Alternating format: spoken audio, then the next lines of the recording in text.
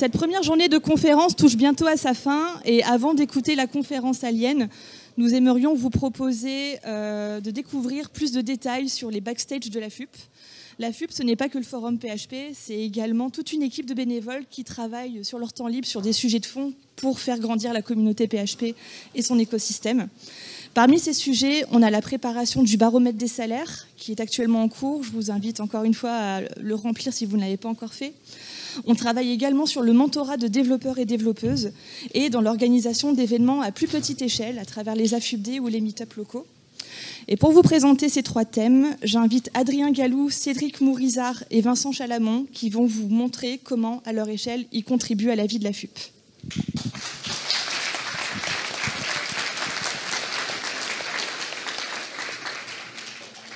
Ah, bonjour à toutes et à tous. Donc, dans, les, prochaines minutes, nous allons parler du baromètre AFUP. Euh, euh, et avant toute chose, euh, l'AFUP, c'est une association. Cette association, elle a des statuts. Et dans les statuts, on a plusieurs objectifs. Et donc, un des objectifs, ça va être ici de valoriser les compétences des professionnels et professionnels du langage. Et donc, c'est pour, voir cet objectif qu'en 2003, qu'en 2013, pardon, le baromètre AFUP a été créé. Qu'est-ce que c'est que le baromètre? Le baromètre, c'est une enquête qui est réalisée tous les ans auprès des développeuses et développeurs PHP pour leur demander des, euh, informations sur leurs conditions de rémunération, leurs conditions de travail, leur statut, euh, euh, les conditions de leur environnement technologique, pour prendre le pouls de la communauté et avoir des informations statistiques sur ces différentes métriques. Donc, le baromètre, c'est cette enquête, mais c'est aussi l'analyse de la FUP. Donc, après avoir réalisé cette enquête, généralement quelques semaines ou quelques mois après avoir fini l'enquête, nous publions une analyse. Donc, généralement, on va, sortir le profil type de la personne qui a répondu, et ensuite, selon les résultats, on va rechercher des informations qui nous paraissent, euh, euh, intéressantes euh, dans les données qui ont, qui ont été récoltées. Euh, et en plus de ça, on fournit euh, à tout le monde un site pour pouvoir creuser dans la donnée. Donc vous avez accès à l'ensemble des données du, baromètre euh, AFUP. Donc là-dessus, vous voyez ici un exemple sur la distribution des salaires avec un filtre sur la dernière enquête, qui est le filtre par défaut, sur donc dans notre cas de 2020, et vous pouvez filtrer sur plein d'autres informations. Par exemple, si on prend ce, cas, on peut afficher la distribution des salaires en filtrant sur euh, les personnes qui se trouvent dans la région Auvergne-Rhône-Alpes et qui ont une certaine expérience. Ça, peut être très utile, par exemple, pour un entretien annuel, un entretien d'embauche, quel que soit le côté où on se trouve de, cet entretien. Donc, sur le site, vous allez pouvoir retrouver de nombreux rapports, par exemple des rapports sur, le, ben, sur euh, la rémunération, sur la spécialité, euh, sur la répartition géographique, sur la version PHP. Je vous laisserai euh, aller sur le site pour pouvoir découvrir ces différents rapports. Généralement, la plupart des questions qui sont dans l'enquête se retrouvent sur, sur le site. À noter aussi que le, baromètre euh, est, réalisé depuis plusieurs années en partenariat avec euh, le JDN, le journal du net. Donc on, le remercie pour ce partenariat. il nous aide généralement en amont pour ajouter éventuellement des, ou supprimer des questions sur, euh, sur l'enquête et pour diffuser le plus largement possible cette enquête euh, afin d'avoir les résultats les plus pertinents possibles. Euh, petit point technique, l'enquête est effectuée via un Google Form et ensuite le site c'est une application Symfony MySQL assez classique. un point sur lequel aussi on voulait mettre l'attention, c'était la, partie anonymisation. Euh, tout à l'heure, on a vu qu'on avait des filtres, cela, peut être assez puissant, et on pourrait éventuellement retrouver, par exemple, le, salaire de quelqu'un si, on se trouve dans une région un peu éloignée, si on connaît euh, précisément son, profil. Et donc, pour ça, si on a trop peu de réponses à afficher, on ne va pas afficher les lignes ou le tableau, et donc on, essaie d'être le plus respectueux de, l'anonymat des répondants et des répondantes.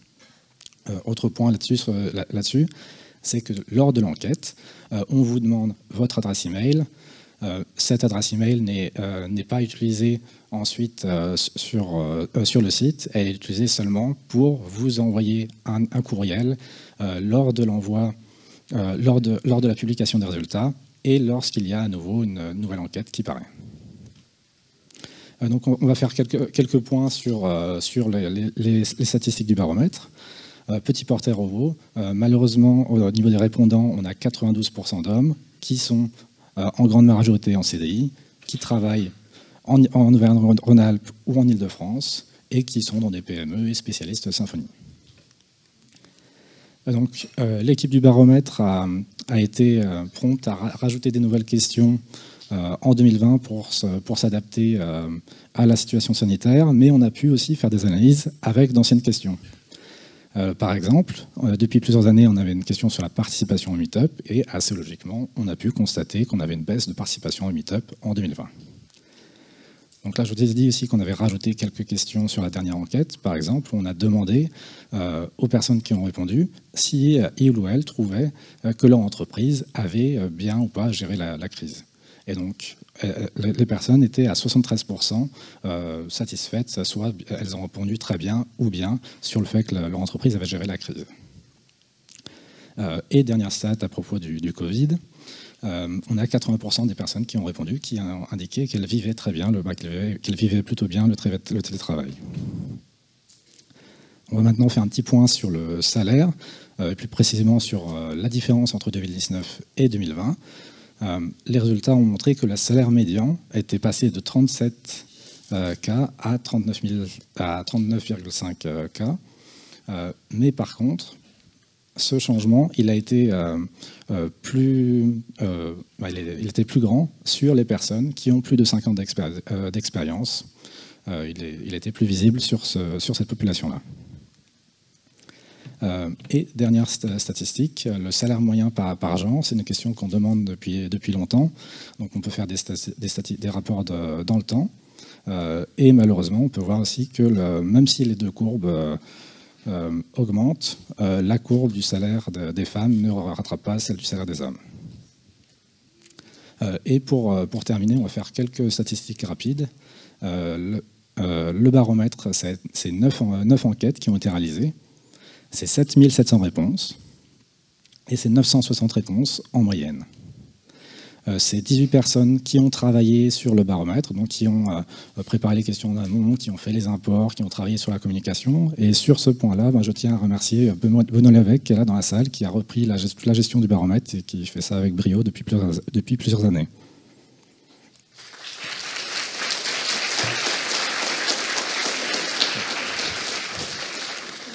Donc, euh, euh, dernier point, c'est que, euh, que l'enquête 2021 est en cours. Donc, si vous, si vous voulez nous aider à avoir des résultats les plus pertinents possibles, vous pouvez aller à, cette adresse. Donc, vous pouvez le faire dès maintenant sur votre téléphone, aller sur baromètre.afu.org et dès que vous aurez un peu de temps, vous, allez, vous pouvez remplir le, le questionnaire. Donc, je vous remercie, puis je vais laisser la main à Cédric.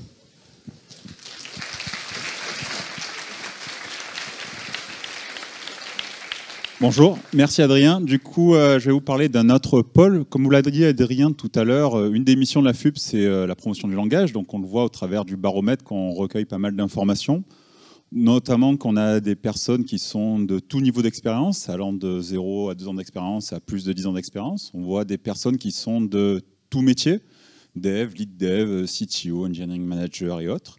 Et on voit aussi beaucoup de personnes, enfin, euh, qui, sont euh, dans de la reconversion. C'est une des questions qu'on a posées qu'on a rajoutées récemment dans le baromètre.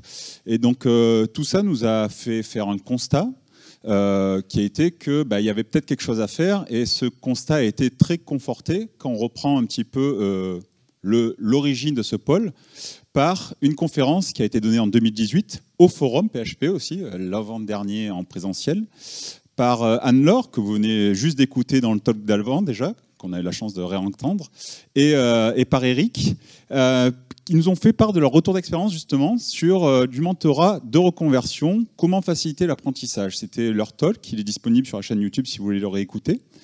Et donc, ce talk, qui avait été donné au forum, mais aussi dans une antenne locale, a suscité beaucoup, beaucoup de retours. Et on s'est dit qu'il y avait peut-être quelque chose à faire pour notre deuxième mission de la FUB, qui est la le travail autour de l'écosystème et l'échange dans l'écosystème PHP.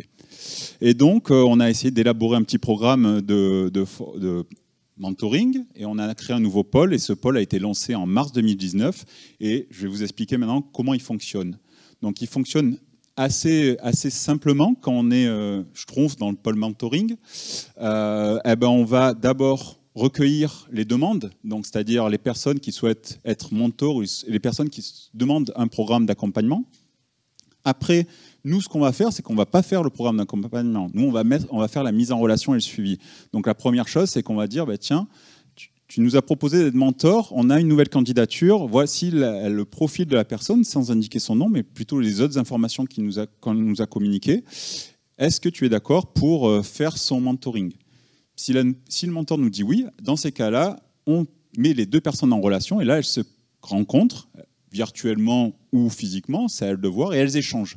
Et le programme rentre euh, en action, on va dire concrètement. Et ça veut dire quoi? Ça veut dire qu'ils échangent et en fonction du besoin, si c'est un programme de mentoring plutôt de ben, quelqu'un qui débute techniquement, qui a des questions techniques, ou un programme de mentoring d'évolution de, carrière, quelqu'un qui vient d'être promu euh, engineering manager, promu CTO.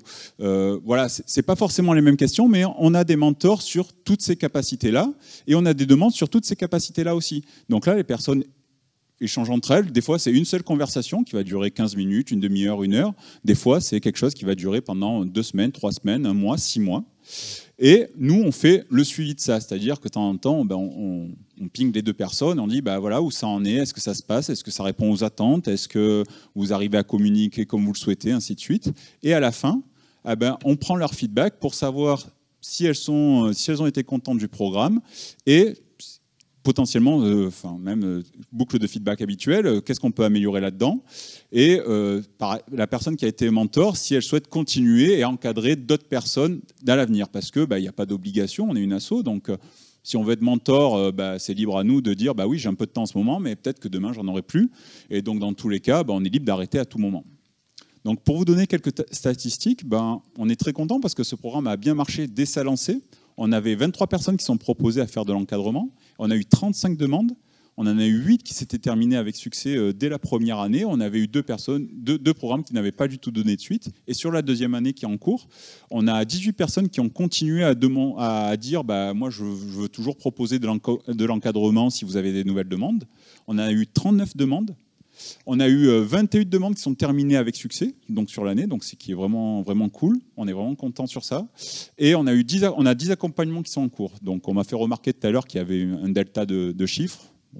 Effectivement, il y a un état de chiffre parce que des fois, bah, il y a des accompagnements qui s'arrêtent au bout d'un échange parce que non, finalement, euh, je ne souhaite plus être encadré ou finalement, j'ai plus trop de temps pour faire mon encadrement ou bah, non, ça ne correspond pas euh, forcément à ce que je m'attendais et donc ça s'arrête naturellement. Bah, merci, au revoir, il n'y a pas de souci, on arrête là. Et on a trois personnes, comme je vous le disais tout à l'heure, qui ont quitté le programme parce qu'elles bah, n'avaient plus de temps pour, euh, pour poursuivre cet, encadrement. Donc on est, assez, euh, assez content de ce programme. Ce programme, il est ouvert à tout le monde. Il faut savoir, il y a deux choses. Donc on fait de l'encadrement de tout, que ce soit sur des questions techniques, sur des questions de, de carrière, sur des questions de gestion dans une équipe, parce qu'on ne veut pas forcément adresser la question en interne ou à d'autres personnes qu'on connaît. Et donc, des fois, en parler à une personne qu'on connaît moins, bah, c'est sympa, ça débloque, ça fait sauter certains verrous. Et deuxièmement, il y a aucune raison d'être membre de la FUP pour être dans ce, dans ce, dans ce programme. C'est-à-dire que demain, vous, vous n'êtes pas membre de la FUP, vous souhaitez quand même euh, bénéficier d'un mentorat ou proposer un mentorat, libre à vous, vous pouvez nous contacter sur notre site internet, il y a les deux formulaires, je veux être mentor ou je veux demander un mentorat, et c'est ouvert à tout le monde, donc c'est vraiment dans cet esprit de entretenir l'écosystème et promouvoir aussi notre, euh, ben, notre, notre écosystème, notre, euh, ben, notre groupe. Voilà. Et voici quelques retours que je vous laisse lire par euh, justement une personne euh, qui a été euh, dans le programme côté mentorat une personne qui a été dans le programme côté mentoré. et ça fait plaisir à lire, ça fait plaisir à entendre. C'est de l'énergie qu'on met dans le suivi, dans la mise en relation. Ces personnes-là mettent beaucoup d'énergie aussi sur leur temps libre. Et ben, on tient à les remercier aussi par cette conférence. Et, voilà. Et donc, c'est fini pour moi. Je vais laisser la parole maintenant à Vincent qui va vous parler un petit peu de la vie d'une antenne.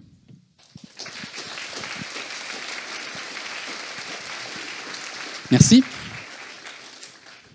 Alors, on m'a demandé de vous parler de la gestion d'une antenne à FUP. Euh, je me présente, je suis Vincent Chalamont, je suis dans l'antenne AFUP lilloise depuis euh, déjà trois ans. Et bah, surtout, la grande question, c'est quoi une antenne AFUP Alors, une antenne AFUP, pour le présenter de façon très vulgaire, c'est une équipe de 4-5 bénévoles qui vont manger des chips et boire de la bière. Plus concrètement, euh, une antenne AFUP va assurer le lien entre le bureau AFUP, que vous retrouvez aujourd'hui avec leur t-shirt bleu, et une communauté PHP locale, dont vous faites partie dans vos villes respectives.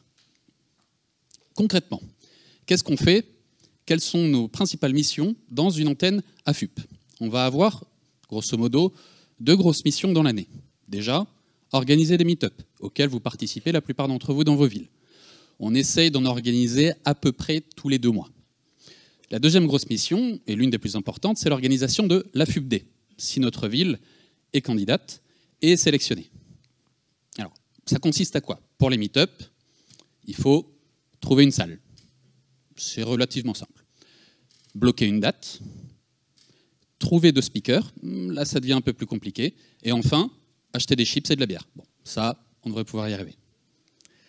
Et pour la FUBD ah ben Pour la FUBD, c'est un petit peu plus compliqué et surtout c'est un petit peu plus long. Pour ça, je vais vous présenter le calendrier type de l'organisation d'une antenne à FUP. Premièrement, en juin, à la sortie de la FUPD, on prépare le dossier de candidature pour l'édition suivante, si toutefois la ville se porte candidate. Le dossier de candidature est assez simple, il fait, je ne sais plus, 30, 40 pages, c'est très léger. Dedans, on va mettre la liste de sponsors potentiels, on n'est pas encore obligé de les contacter, pas pour l'instant. La liste des speakers potentiels. Petite difficulté, il va falloir que l'on établisse des devis pour des traiteurs et pour des salles. En juin, en juillet, pardon, tous les deux mois, on organise un meet-up. On rachète des chips et de la bière. En août, on rend le dossier de candidature et on profite du soleil. Ça tombe bien, on a super bien bossé en juin et en juillet. Notre dossier de candidature est déjà prêt. On a juste à l'envoyer courant août et après on profite du soleil. En septembre, on organise un meet-up tous les deux mois, on rachète des chips et de la bière. Petite particularité pour septembre, on a jusqu'à fin septembre pour organiser l'élection de la liste d'une antenne. À savoir qu'une antenne, comme je vous l'ai expliqué, c'est une équipe de 4-5 personnes qui vont constituer du coup une liste. Cette liste peut changer d'une année sur l'autre. À partir de fin septembre jusqu'à l'année suivante, cette euh, équipe peut donc changer. Et cette équipe est élue par les membres lors du meet-up de septembre. En octobre, on y est, c'est le forum PHP.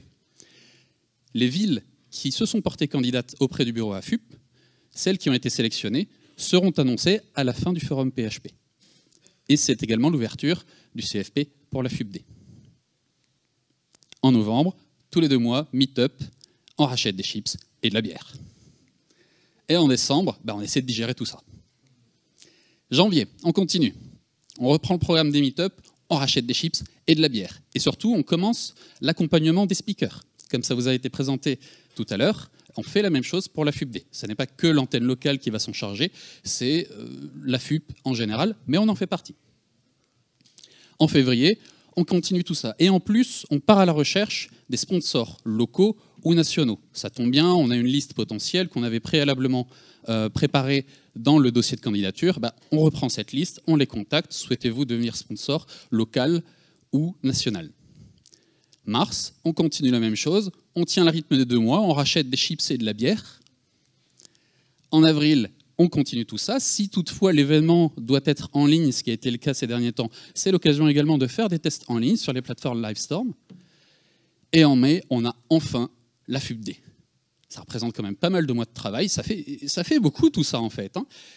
Mais attention, c'est échelonné sur une année, avec une équipe de 4 à 5 bénévoles par antenne. Et il y a également le bureau qui est là pour nous aider. On va faire des points réguliers, mensuels, avec le bureau pour bah, voir un petit peu l'avancée. Est-ce que, vous avez, que vous avez besoin d'un coup de main sur tel ou tel point? Attention, il y a un point d'alerte sur les sponsors, vous avancez pas assez vite, peut-être qu'on pourrait vous filer un coup de main là-dessus, etc. Ça peut représenter beaucoup, surtout le grand calendrier que je viens de vous présenter. D'après l'estimation, les trois ans que j'ai pu bosser dedans, ça représente environ une à trois heures par personne par mois. C'est pas grand-chose en fait, surtout pour une équipe de 4 à 5 bénévoles. Et alors, je vous vois venir et je terminerai par cette grande question qui vous brûle les lèvres. Ça représente combien de chips et de bières par an? Merci à tous.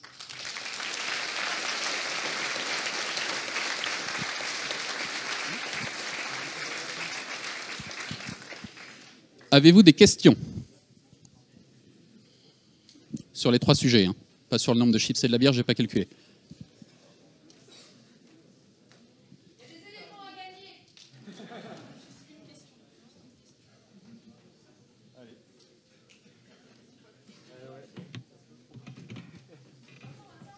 Ah, il y a une question ici.